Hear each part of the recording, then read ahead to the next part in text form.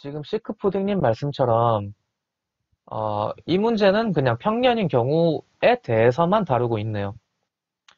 1에서 12 사이 정수를 입력받는데 그거는 1월부터 12월을 의미하는 거고 그리고 그건 무조건 평년일 경우만 생각했을 때 어, 각 월에 일수 출력하는 프로그램을 작성하면 되겠네요. 한번 해봅시다. 그러면은 자 선택 지원문 형성평가 5번을 지금 한번 풀어볼게요. 기존에 저희 푼 거는 주석 처리를 좀 하고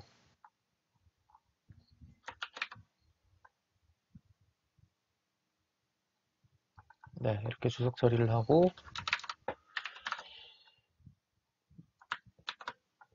아 프로그님 안녕하세요. 프로그님 오늘 조금 늦게 오셨네요.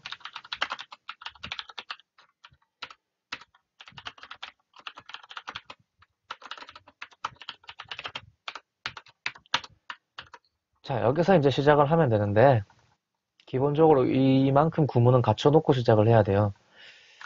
어, 1에서 12 사이 정수를 입력받을 거니까, 변수를 하나 선언해 봅시다. 1에서 12 사이는 1월부터 12월을 의미하니까 month잖아요. mon이라고 변수를 선언하고, scanf로 사용자로부터 입력을 받아볼게요. mon에다가 입력을 받을 거다. 월을 입력받고 네 이렇게 해서 입력을 받았고 어 근데 문제가 말이 좀 이상하죠. 입력받아 평년의 경우 입력받은 월을 입력받아 평년의 경우 되게 말이 이상하죠. 여기 문제가 문제가 좋긴 한데 한글을 좀 이상하게 서술해 놓은 경우들이 있더라고요. 문제 파악이 조금 어려운 경우가 있는데 네, 간혹 그런 문제들이 있더라고요. 대충 어, 평년의 경우만 얘기하는 것 같아요. 월의 날수를 출력하면 되는데 if문을 써봅시다. if money 1이면 그러니까 1월을 의미하잖아요. 1월에는 날수가 얼마예요?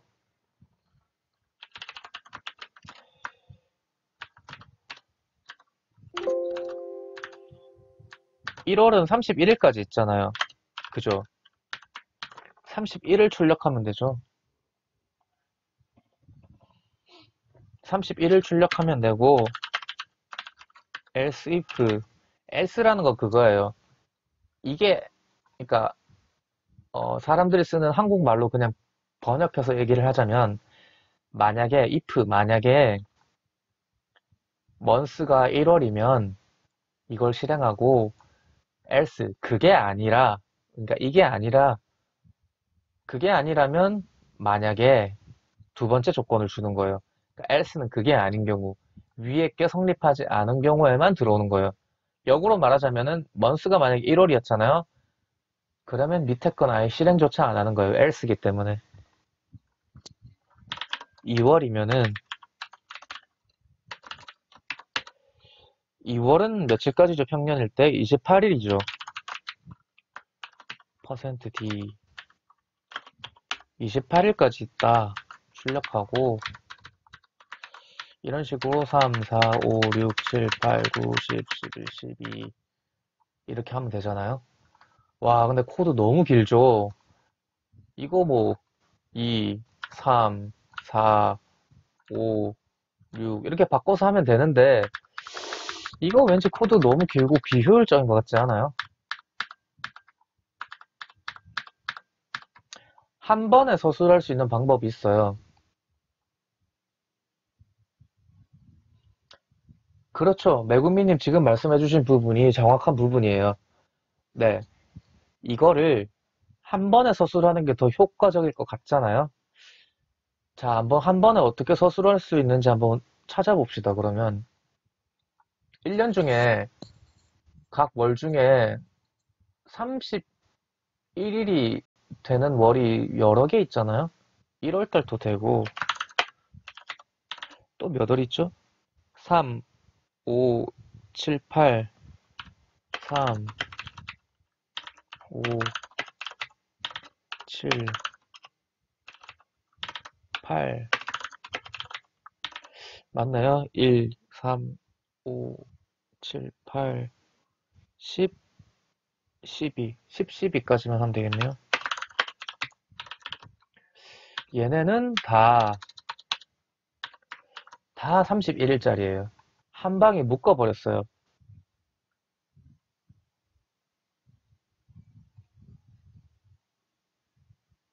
네, 이렇게 묶어버렸어요. 보세요.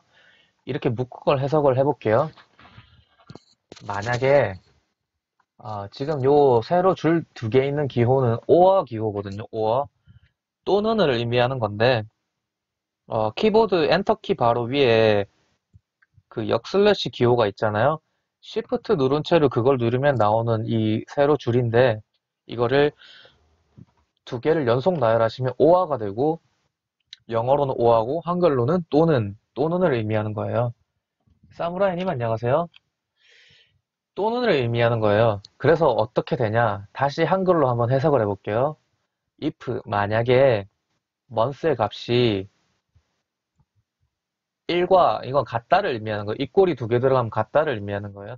month의 값이 1이거나 1이거나 또는 month의 값이 3이거나 또는 5거나 7이거나 8이거나 10이거나 10이거나 이 중에 하나만이라도 맞으면은 아래 내용을 실행을 하라 라는 거예요. 5화는 이 조건된 나열된 것들 중에 단 하나라도 성립되면은 실행을 하는 거예요. 그래서 1월일 때도 이걸 출력하고 3월, 5월, 7월, 8월 각자 다 이걸 출력할 거예요. 근데 2월, 4월, 뭐 6월은 해당 안 되잖아요. else로 넘어오는 거예요. 그때는 else로 넘어와서 else로 넘어와서 이렇게 해볼까요? 2월이면 2월이면은 28일을 출력을 하고 그 외에 나머지는 나머지 다 30일짜리죠. 30일을 출력하라. 2월 그 외에 나머지 전체 그냥 else만 서술하시면 위에 조건 두 가지 해당 안 되고 내려온 나머지 전체 다 해당되는 거예요. 풀어서 설명드리자면은 1월, 3월, 5월, 7월, 8월, 10월, 12월인 경우는 여기 코드 동작하고 나머지 생략 근데 그 외의 경우가 2월, 4월, 6월, 9월, 11월이잖아, 11월이잖아요. 그 중에서 2월인 경우는 이거 실행하고 나머지 생략. 그 외에 나머지면은 4월, 6월, 9월, 11월만 되겠네요. 여기도 해당 안, 여기도 해당 안 되고, 여기도 해당 안 되는 나머지 전체. 네, 걔네는 다 여기로 와서 30일을 출력하겠죠. 이게 전체 조건문의 어, 전체 틀을 다 보여드린 거예요. if, else if, else. 요거면은 모든 조건문을 다 쓰실 수 있어요. if, else if, else 세 가지면 충분히요. 이렇게 해서 한번 실행해 볼게요. 자, 1월을 입력해 볼게요.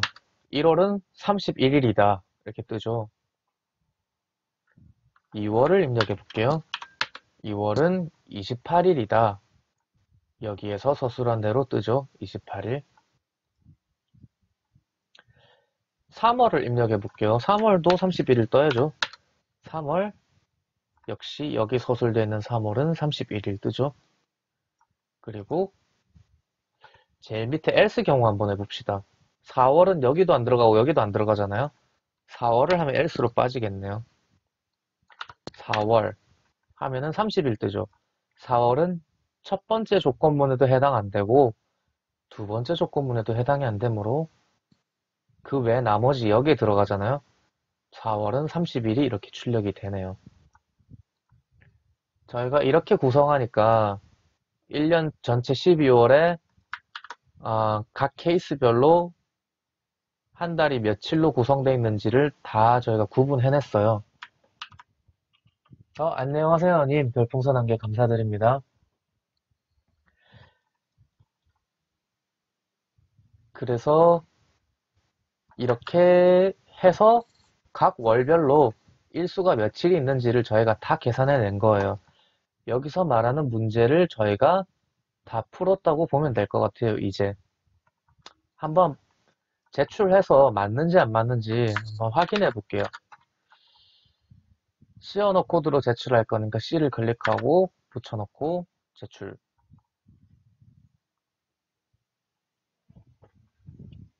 아, 좌하하님 스티커 10개 감사드립니다. 아, 안녕하세요, 님. 완벽한 설명. 네, 감사합니다. 석세스 100점 떴죠. 네, 이렇게 해서 선택 지원문 형성평가 5번.